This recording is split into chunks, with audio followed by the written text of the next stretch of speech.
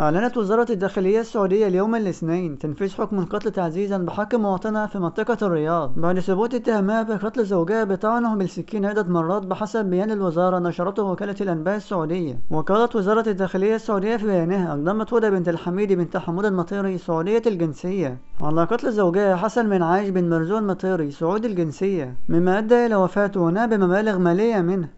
وأضاف البيان أن الجهات الأمنية تمكنت من القبض على الجانية المذكورة وأسفر التحقيق معها لتوجيه الاتهام إليها بارتكاب جريمتها. وبإحالتها إلى المحكمة المختصة صدر بحقها صك يقضي بثبوت ما نسب إليها ولأن ما قامت به المدعى عليه عمل محرم وجرم عظيم واستهتار بالنفس البشرية وسفك للدماء المحرمة ودليل على فسادها وخطورتها وتواصل الإجرام في نفسها. ونظرا لشناعة فعلها فقد تم الحكم بقتلها تعزيزا وصدر أمر ملكي بإنفاذ ما تقرر شرعا ويد من مرجعه.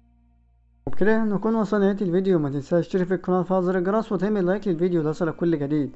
والسلام عليكم ورحمة الله وبركاته.